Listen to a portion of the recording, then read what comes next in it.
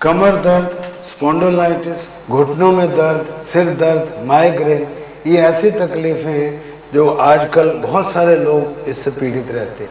पिछले 45 वर्षों में मैंने ये अनुभव किया है, कितनी भी आप दवाइयाँ ले लें, उससे सारे सिस्टम को डैमेज करेंगे। कभी भी इम्प्रूवमेंट नहीं आएगा नीज में इम्प्रूवमेंट नहीं आएगा हेडेक में कोई बदलाव नहीं आएगा। उसके लिए केवल सरल योग आसन ही आपको मदद करेंगे। प्राणायाम भी मदद कर सकता है। हमारे आश्रम में सरल योग अभ्यास के अलावा नेचुरोपैथी स्टीम बाथ शिरोधारण आयुर्वेद और लेप वगैरह, उन सब का प्रबंध है। मदद ज़रूर लेते हैं हम लोग शुरू में, लेकिन जो परमानेंट क्योर देता है वो केवल आपको योगाभ्यास ही देता है। इसलिए योगाभ्यास या करेक्टिव एक्सरसाइज आपके लिए सीखना निहायत ज़रूरी है। तभी आपको परमानेंट क्योर मिल सकता है, अन्यथा नहीं। सो go for permanent cure, not for temporary relief.